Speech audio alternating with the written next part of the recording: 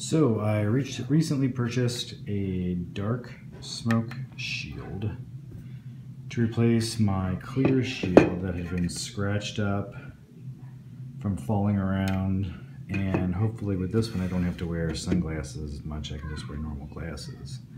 What I did notice though upon delivery is that while I had Pinlocks on my clear shield that came with the helmet, did not have any Pinlock on the smoke shield. There's no score or mark anywhere that indicates where the Pinlock should go.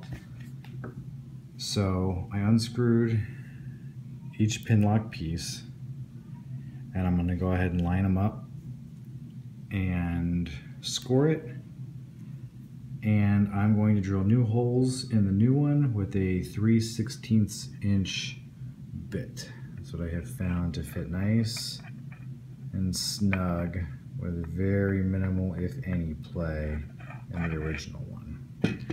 So I'll go ahead and line them up, mark it, drill it, and then hopefully my insert, which if you don't have, I highly recommend getting one of these uh, these Pinlock inserts, if your visor fogs, this will make it basically impossible for it to fog up again. Uh, they're overpriced, I think, but they're worth the penny that you paid for them. They could be cheaper, but again, they're worth it. So I'll drill it, and when we come back, we'll see how I did.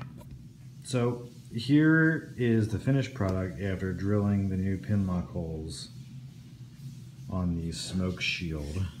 Again, just lined them up using the old version and the 3 16th bit and we're good to go.